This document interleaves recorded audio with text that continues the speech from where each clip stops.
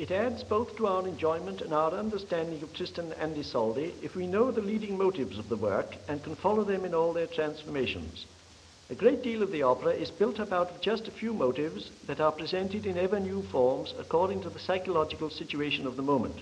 For example, the work opens with two motives, the first of which is known as the grief motive.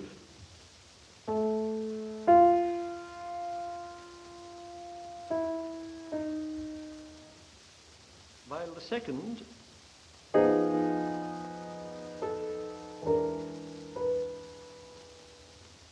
is called by some commentators the desire motive, by others the motive of Isolde's magic.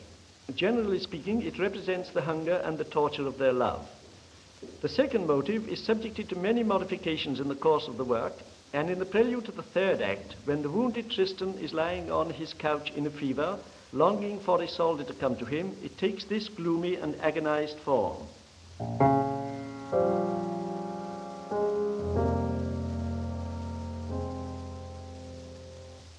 And a little later,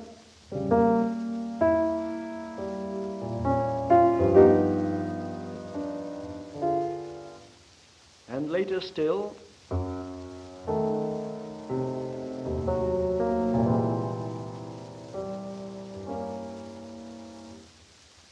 hear it again in the oboes and English horn in almost the very last bar of the opera, this time with other harmonies.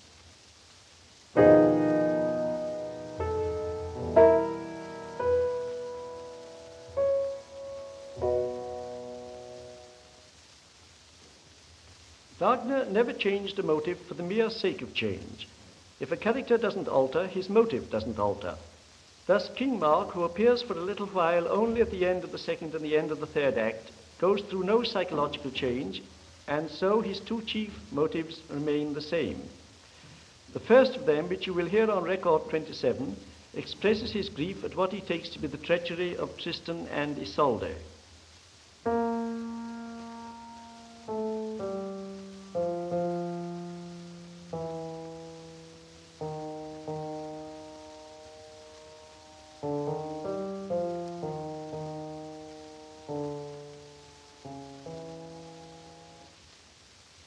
Second, which appears a little later, depicts the grave, noble, rather sad nature of the good old man.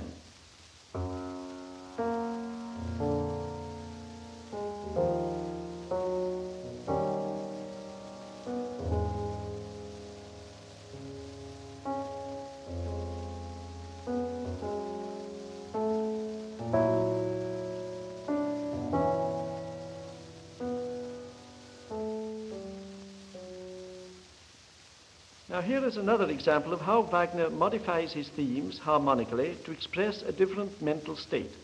The second act opens with an impetuous motive that symbolizes the glaring day that the lovers hate. In the second act, when the lovers are surprised by Melot and the others, Tristan says sadly, the barren day this last time dawns, and we hear the day motive in these mournful forms.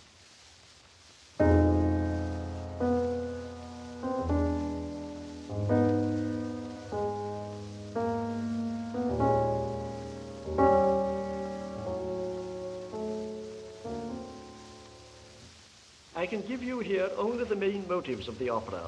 Here are some more of them from the prelude. The motive of the hero Tristan.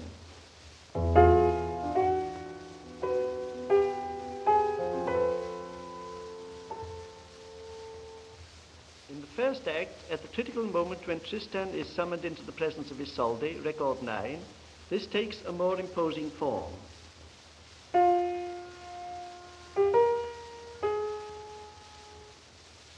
Next, in the prelude, comes the expressive motive of the look, the meaning of which you will find in the text of record 6.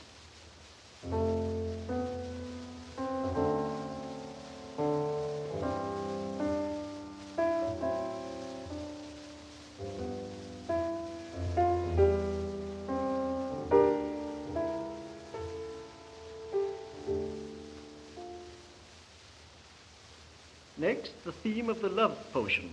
The three notes in the bass near the end are important. They constitute the death motive.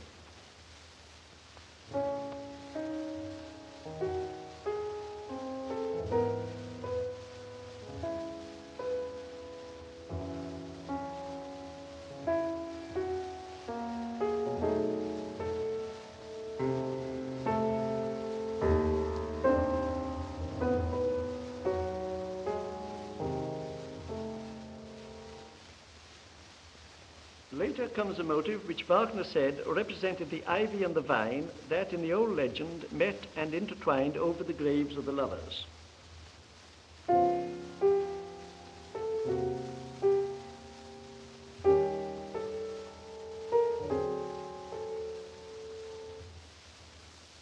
Then the motive of longing for death.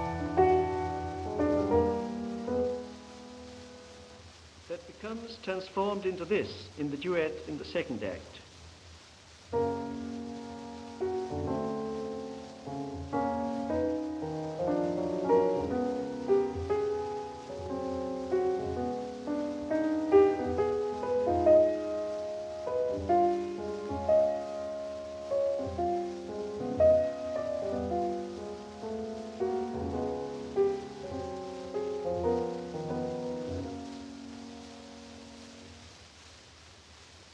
In the first act, there is an important motive sung by Isolde to the words Death, devoted head, death, devoted heart.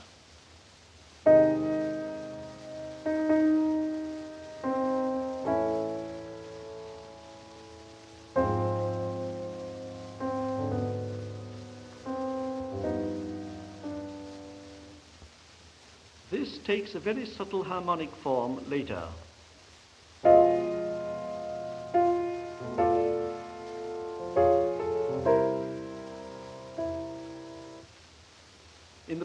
The second act, record 15, comes the ecstasy motive.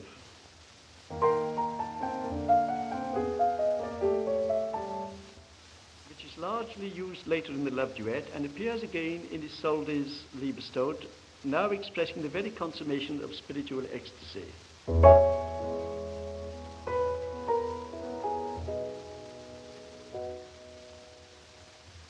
The following motive, which takes various forms and is here skeletonized,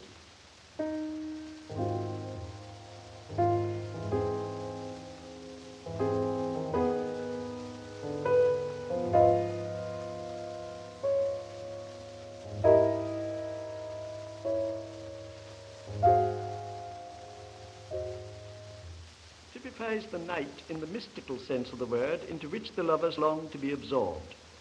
The motive of union beyond death appears first in the second act, record 25, and at the end of the opera it forms the commencement of the Liebestod.